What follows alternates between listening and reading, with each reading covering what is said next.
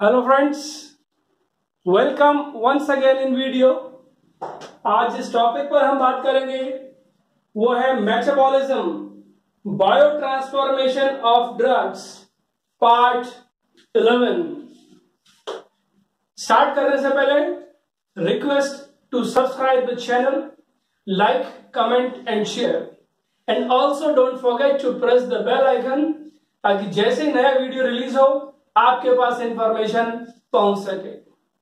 हम बात कर रहे हैं बायो ट्रांसफॉर्मेशन जिसका दूसरा नाम है मेटाबॉलिज्म ऑफ़ ड्रग ये वो प्रोसेस है जिसके अंदर जो ड्रग आपकी बॉडी के अंदर एंटर हुई है, उसको बाहर निकालना है। अब ये कॉम्प्लेक्स प्रोसेस है। ये कैसे होता है? ये हम सब पार्ट वन से लेकर टेन तक वीडियोस में देख चुके हैं। ओवरऑल बात करें तो बायो ट्रांसफॉर्मेशन में जो ड्रग है, वो लिपोफिलिक को हाइड्रोफिलिक फॉर्म में कन्वर्ट कर दिया जाता है। एंजाइम्स की मदद से और वो एंजाइम्स आपकी बॉडी ऑर्गन्स में है। और जो सबसे बड़ा बॉडी ऑर्गन है रेस्पॉन्सिबल फॉर मेटाबॉलिज्म या बायो ट्रांसफॉर्मेशन वो क्या होता है? ये रेड कलर में दिया हुआ है जो लीवर तो major metabolizing organ for biotransformation is liver अब जिस तरह हमने देखा है एब्जॉर्प्शन डिस्ट्रीब्यूशन मेटाबॉलिज्म एक्सक्रीशन ये चार पैरामीटर हैं, या चार प्रोसेस हैं फार्मोकाइनेटिक्स के। हम मेटाबॉलिज्म कर रहे हैं अब एब्जॉर्प्शन डिस्ट्रीब्यूशन और एक्सक्रीशन को आप देखोगे तो जो एब्जॉर्प्शन हो, चाहे डिस्ट्रीब्यूशन हो, चाहे एक्सक्रीशन हो रेट ज़्यादा या कम हो सकती है। तो उसी तरह से मेटाबॉलिज्म की रेट भी ज़्यादा या कम हो सकती है। इट मीन हम कह सकते हैं कि कोई भी ड्रग बॉडी से जल्दी निकलेगी या देर से निकलेगी। क्योंकि ऑब्वियस है ना, जब तक ड्रग मेटाबोलाइज नहीं होगी, वो बॉडी से निकलेगी नहीं तो रेट ऑफ़ मेटाबॉलिज्म ज़्यादा है तो रेट ऑफ़ ऑक्सीजन भी ज़्यादा होगा। प्रोवाइडेड कि जो मेटाबोलाइट बन रहा है, वो वाटर सॉल्युबल है पोलर है आयनिक है। ये बेसिक कंसेप्ट की बात कर रहे हैं। तो ये है बेसिक चीज़ ड्रग ड्रग के साथ क्या बाइंड हो रहा है? एंजाइम और एंजाइम किस कहा है ये ऑर्गन के अंदर? तो ड्रग एंजाइम ऑर्गन से क्या बना? Metabolite and this metabolite is excreted तो यही तो डेफिनेशन होती है बाय ट्रांसफॉर्मेशन की। Process in which the drug is converted in metabolite so that it can be easily accepted by the help of enzyme which are present in the body organ तो यहाँ तक एक part है। हम बात करें factors affecting तो रटने की ज़रूरत ही नहीं है। क्योंकि आपको ये तीन चीज़ पता है तो फैक्टर इनसे रिलेटेड है, बाहर जाने की ज़रूरत ही नहीं है। कैसे? डी की बात करें तो physicochemical properties of drug जैसे लिपोफिलिसिटी ये हम पार्ट टेन में पढ़ चुके हैं। फिर बात आती है factors related to enzymes factor related to enzyme पिछले पार्ट में हमने पढ़ा था कि दो बहुत इंपॉर्टेंट चीज़ें enzyme induction and enzyme inhibition उसके लिए प्लीज़ आप पार्ट टेन देखिए and for that please subscribe the channel बात करते हैं एंजाइम की इंडक्शन और इनिबिशन हो गया, उसके अंदर अगला फैक्टर आता है एनवायरमेंट और फिर आता है टेम्पोरल फैक्टर अभी देखेंगे हम। हम और क्या देखेंगे इस वीडियो के अंदर? नेक्स्ट फैक्टर है, वो रिलेटेड टू बॉडी या रिलेटेड टू ऑर्गन अब वो कैसे? जैसे ऑर्गन बॉडी से चीज़ क्या हो सकती है? जैसे स्पीशीज डिफरेंस जैसे स्ट्रेन डिफरेंस जैसे सेक्स जैसे एज डाइट फिजियोलॉजिकल फैक्टर या ऑल्टर्ड फिजियोलॉजी तो ये सारे फैक्टर्स हैं। कलेक्टिवली हम देख सकते हैं, बाद में हम देखेंगे वन बाय वन एग्ज़ाम्पल के साथ समझेंगे। इंडक्शन इनिबिशन हो गया, हम स्टार्ट करेंगे एनवायरमेंटल फैक्टर कि एनवायरमेंट फैक्टर एंजाइमेटिक एक्टिविटी को कैसे इफ़ेक्ट कर सकते हैं? तो मेटाबॉलिज्म कौन कर रहा है? एंजाइम्स की मदद से हो रहा है और ड्रग का मेटाबोलाइज आपका ऑर्गन कर रहा है। तो एनवायरमेंटल फैक्टर भी एंजाइमेटिक एक्टिविटी को ज़्यादा या कम कर सकते हैं क्या? बिल्कुल कर सकते हैं। जब इंड्यूसर क्या होती है? ड्रग तो होती है जो बॉडी में जा सकती हैं। तो एनवायरमेंट में भी कई ऐसे केमिकल्स ऐसे हैं जो बॉडी में जाने के बाद उन एंजाइम्स को इंड्यूस कर सकते हैं। Means the chemicals or various agents which are present in the environment after entering into the body, they can result in enzyme induction. Sir example देखिए बताइए। तो यह है आपके सामने एग्ज़ाम्पल जैसे DDT and cigarette smoke DDT आप जानते हो पेस्टिसाइड है। और सिगरेट स्मोक आप जानते हो, जिसके अंदर बेंजाइल आइसोक्रिलोइन डेरिवेटिव्स होते हैं। ये क्या करते हैं? दे इंड्यूस द एंजाइम और एक बहुत इंटरेस्टिंग ये है कि वो लेडी जो ओरल कॉन्ट्रासेप्टिव पे रहेगी और उसका जो पार्टनर है if it is very much smoker बहुत ज़्यादा स्मोकिंग करता है। और अगर टच में है smoking because of passive smoking वो स्मोक अंदर जाएगी लेडी के अंदर ओरल कॉन्ट्रासेप्टिव जो वो ले रही है हार्मोन्स उनका मेटाबॉलिज्म फास्ट होगा। जल्दी निकलेंगे। ड्रग फ्री इंटरवल होगा और वही chances of failure of contraception मतलब प्रेगनेंसी हो सकती है। दूसरा, इसी के अंदर एनवायरमेंट में देखेंगे हम, जैसे ओपीज ऑर्गेनोफॉस्फेट जो पेस्टिसाइड्स हैं, जैसे हैवी मेटल्स मरकरी टिन निकल और भी हैं they are responsible for enzyme inhibition तो एनवायरमेंटल फैक्टर्स इसको बढ़ा भी सकते हैं एंजाइम एक्टिविटी को और घटा भी सकते हैं। जब एंजाइमेटिक एक्टिविटी बढ़ गई या घट गई तो ऑब्वियस क्या है? रेट ऑफ़ मेटाबॉलिज्म भी ज़्यादा या कम होगा। So this is how we can justify that environmental factors they effect metabolism अब बात आती है किसकी? टेम्पोरल फैक्टर्स की। भाई टेम्पोरल फैक्टर्स क्या है? लेटस सी टेम्पोरल में हमें देखना है कि there is change in the activity of enzyme या there is a variation in the activity of enzyme with light cycle तो जिस तरह से हम पढ़ चुके हैं, अब तक पढ़ते हैं there are various factors affect the enzymatic activity उस पर लाइट भी तो होती है तो बॉडी के अंदर जो एंजाइम्स हैं, उन पर भी इफ़ेक्ट होता है कि जहाँ पर पेशेंट है या फिर दिन की लाइट या रात की लाइट में जो डिफरेंस है, उसकी वजह से बॉडी की जो मेटाबोलाइजिंग एंजाइम्स हैं, उनकी एक्टिविटी भी ज़्यादा या कम होती है। And this variation in the enzymatic activity with the life cycle it is called as circadian rhythm तो सर्कडियन रिदम इसे बोलते हैं। अब ये कैसे ये देखा गया है? The maximum activity of this enzyme which are responsible for maximum it is maximum at six to nine morning के समय याद रखने का तरीके मॉर्निंग में आदमी सो के उठता है तो क्या है? एक्टिव होता है एनर्जेटिक है तो वही कंसेप्ट आप इसमें याद रखने के लिए लगा सकते हो। मैक्सिमम और मिनिमम कब होता है? दो से पाँच के बीच में खाना खाने के बाद आदमी बिल्कुल सुस्त हो जाता है, उसको रेस्ट की ज़रूरत होती है तो याद करने के लिए आप दिमाग में रख सकते हो। तो जब एक्टिविटी ज़्यादा या कम है मैक्सिमम या मिनिमम है तो रेट ऑफ़ मेटाबॉलिज्म भी ज़्यादा या कम होगा, बिल्कुल होगा। और हम एक एग्ज़ाम्पल से इसको जस्टिफाई कर सकते हैं। जैसे एक एंजाइम आपने सुना होगा एच एम जी कोए रिडक्टेस एंजाइम जो है। हाइड्रोक्सी मिथाइल ग्लूट्राइल को एंजाइम ए रिडक्टेस ये कहाँ काम आता है? एच एम जी कोए एच एम जी कोए काम आता है कोलेस्ट्रॉल सिंथेसिस में और एंटी हाइपरलिपिडेमिक ड्रग्स के अंदर हम पढ़ चुके हैं स्टेटिन सिम्वास्टेटिन लोवास्टेटिन प्रावास्टेटिन ये जो एच एम जी एंजाइम है, इसकी मैक्सिमम एक्टिविटी होती है नाइट के अंदर। इसलिए statins are prescribe at night time आप देखिएगा ये चीज़।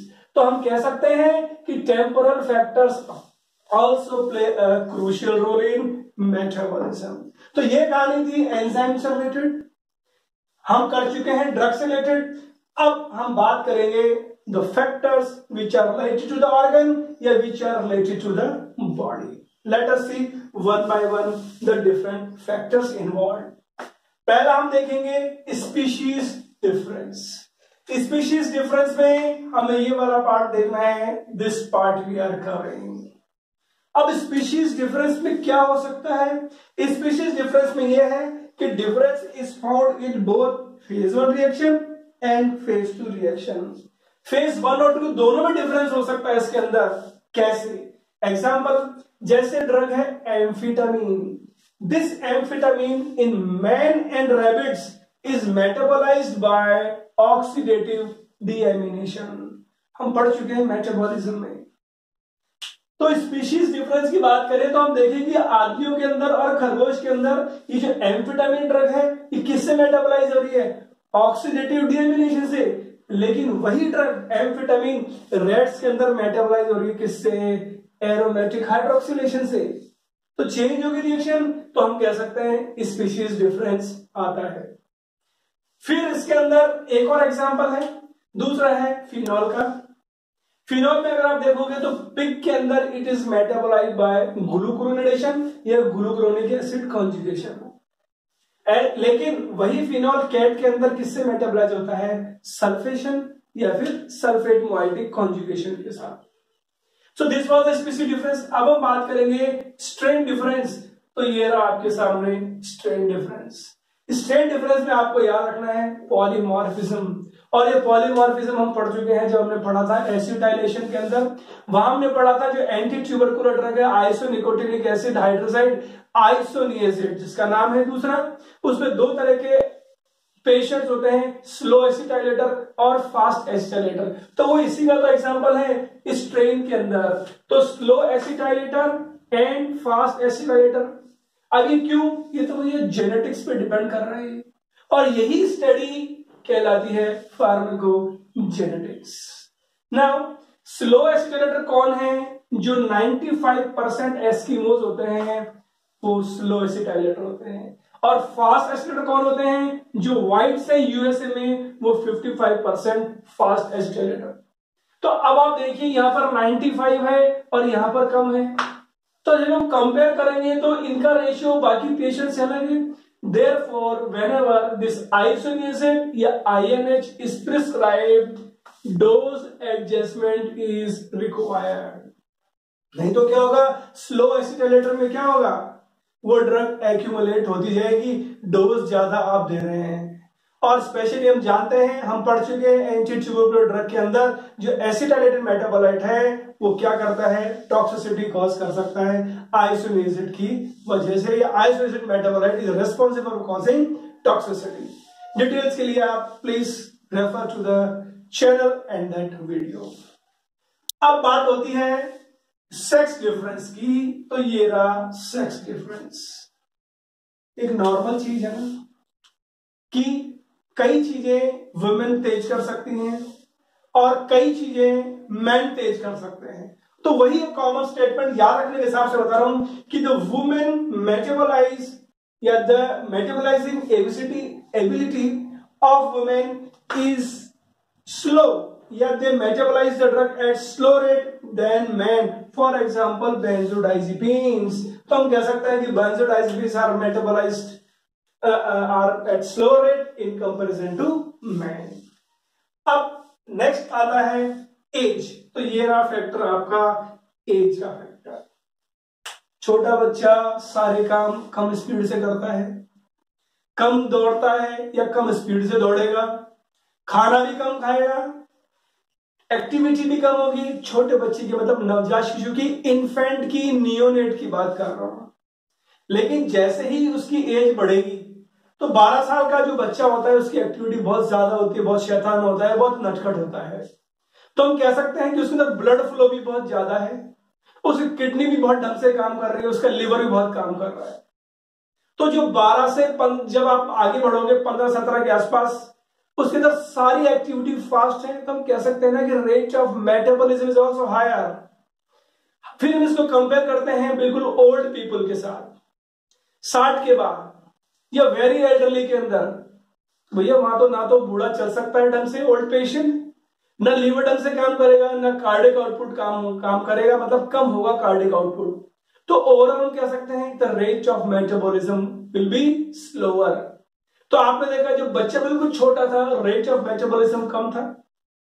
जैसे ही वो बड़ा हुआ rate of metabolism is fast और बिल्कुल जब ओल्ड हो गया पेशेंट तो रेट ऑफ़ मेटाबॉलिज्म कम हो गया। तो डिपेंड कर रहा है ना एज पर? Yes it depends on age example के साथ देख लेते हैं। ना how is age effects the difference in age is due to enzyme content enzyme ज़्यादा या कम है? एंजाइमेटिक एक्टिविटी एंड हीमोडाइनमिक्स ठीक है? एग्ज़ाम्पल जैसे नियोनेट नियोनोट के अंदर microsomal enzymes are underdeveloped and therefore there is decrease in metabolism जब enzyme पूरे डेवलप नहीं हुए तो मेटाबॉलिज्म कहाँ से होगा? क्योंकि हम जानते हैं मेटाबॉलिज्म में तो एंजाइम्स का रोल बहुत ज़्यादा होता है, वही रोल होता है। फिर देखते हैं चिल्ड्रन के अंदर we are talking about the children around the age of twelve around the age of twelve मतलब there is fast metabolism example the T of of theophylline is less than adult इसका मतलब ये हुआ कि the theophylline is metabolize at faster rate क्योंकि जब faster rate पे metabolise होगी तो फटाफट निकल जाएगी तो टी ऑफ़ भी तो क्या होगा? कम होगा। अब हमने देखा ये जो पेशेंट है, या फिर ये इसकी बात कर रहे हैं चिल्ड्रन की, यहाँ पर तो फास्ट हो रहा है।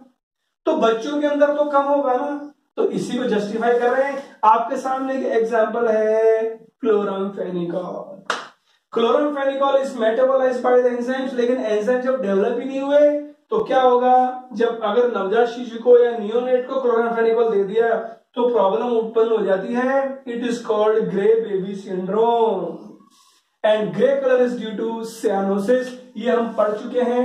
हमने एक वीडियो अपलोड किया हुआ है क्लोरोफेनिकॉल वहाँ पर आपको डिटेल मिलेगी।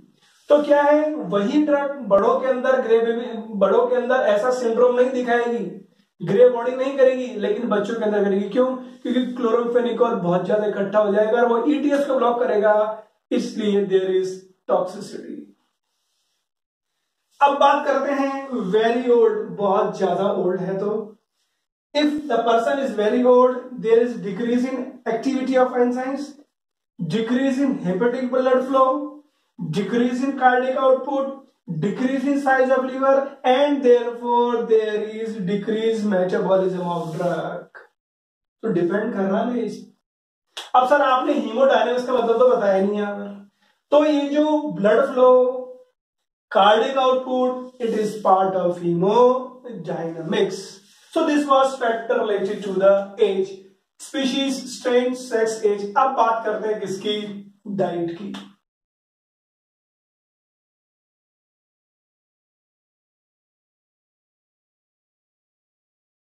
बात करते हैं, डाइट कैसे इफ़ेक्ट करती है रेच ऑफ़ मेटाबॉलिज्म डाइट की कंपोजिशन की बात करें तो डाइट के अंदर प्रोटीन फैट्स वाइटामिन और मिनरल्स इंपॉर्टेंट है। तो ये मेटाबॉलिज्म को कैसे इफ़ेक्ट करेंगे? भैया तो ऐसा है, अब मेटाबॉलिज्म किससे हो रहा है? एंजाइम से हो रहा है। एंजाइम्स सर प्रोटीन्स तो बॉडी से जितना एक्टिविटी एंजाइम की ज़्यादा होगी, उतना रेट ऑफ़ मेटाबोलिज्म ज़्यादा होगा। तो बॉडी के अंदर जो प्रोटीन फॉर्मेशन है, या एंजाइम फॉर्मेशन है, वो किस पे डिपेंड करेगा? कि कितना डाइट के अंदर वो चीज़ ज़्यादा जा रही है। तो we can say that if there is low protein diet there is decrease metabolism and if there is high protein diet there is increase metabolism because high protein diet it results in increased synthesis of enzymes, which are responsible for increased metabolism.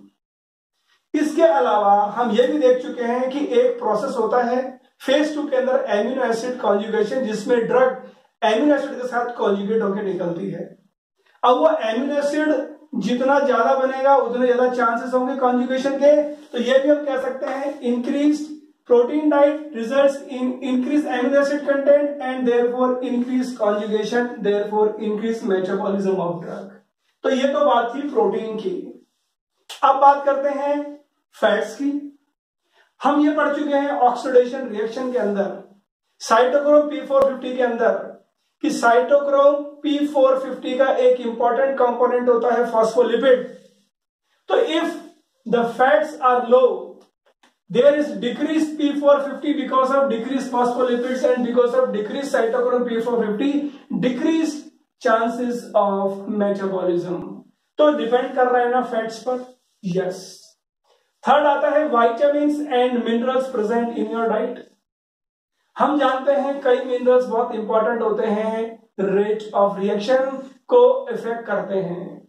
They effect the reaction जैसे oxidation reduction cycle के अंदर there is requirement of magnesium ions तो अगर वो diet में नहीं होंगे तो क्या होगा there is decrease metabolism of drugs इसी तरीके से एक रिएक्शन है जिसको बोलते हैं ग्लूकोरोडेशन अपन पढ़ चुके हैं the most occurring reaction is glucuronation. In case of starvation, decrease glucuronic acid, therefore decrease glucuronation acid conjugation. तो डिपेंड कर रहा है डाइट पर? यस डाइट पे डिपेंड कर रहा है। अब हम बात करेंगे अगले फैक्टर्स ऑल्टर्ड फिजियोलॉजी जिसके अंदर देखेंगे प्रेगनेंसी हार्मोन्स एंड डिज़ीज़ तो प्रेगनेंसी हार्मोन्स और डिज़ीज़ तो देखते हैं प्रेगनेंसी की बात।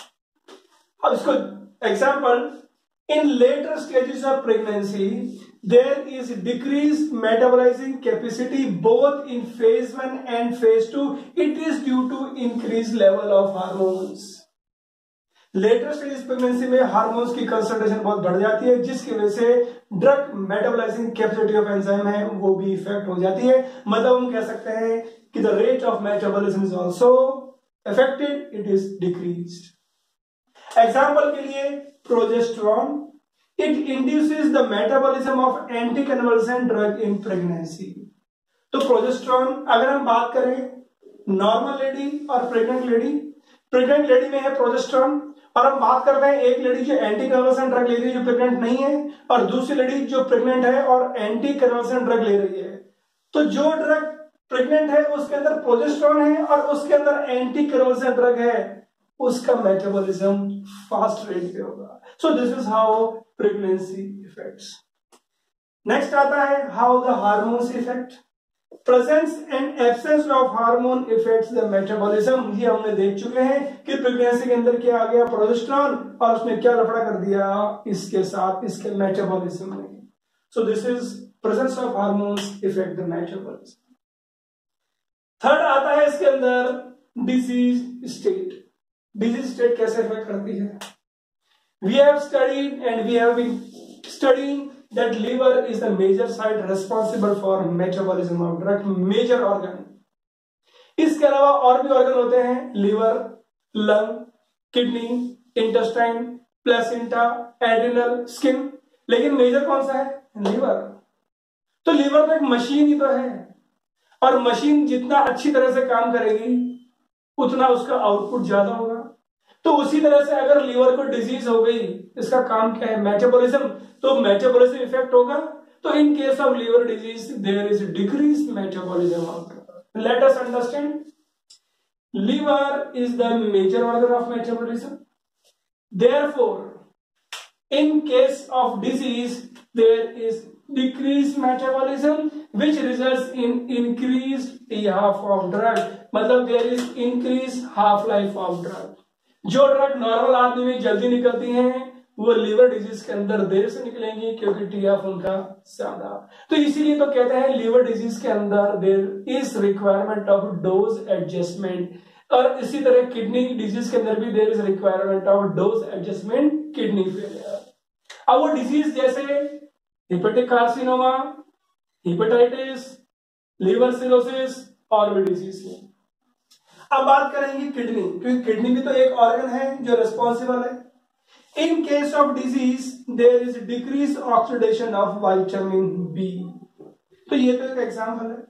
इसके अलावा जो एमिनो एसिड कॉन्जुगेशन होता है ग्लाइसिन का, वो किडनी में है तो वहाँ पर भी वो क्या होगा कम हो जाएगा। तो बीमारी होगी किडनी की तो एमिनो एसिड कॉन्जुगेशन भी कम हो जाएगा। तो हम कह सकते हैं द लीवर इफेक्ट्स अब, या kidney effects the metabolism in case of disease.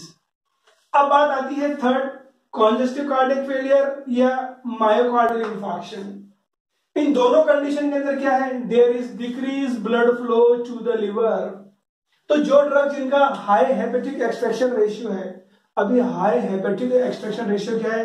For that please subscribe channel and go through the video you will know the details तो in case of this disease there is decrease blood flow to liver therefore decrease metabolism of drugs which are having high hepatic extraction ratio जैसे propranolol और lidocaine तो इन दोनों drugs का क्या होगा? Metabolism कम हो जाएगा, इस बीमारी के अंदर इन ड्रग्स की बात कर रहा हूँ। तो इसके साथ हम कंप्लीट करते हैं। फैक्टर्स अफेक्टिंग मेटाबोलिज्म या बायो ट्रांसफॉर्मेशन ऑफ़ ड्रग्स इसी तरह हम मिलते रहेंगे। We will keep on studying interacting please subscribe channel and don't forget to press bell icon ताकि और वीडियो बने, आपके पास इंफॉर्मेशन पहुँच जाए। Please keep in touch best of luck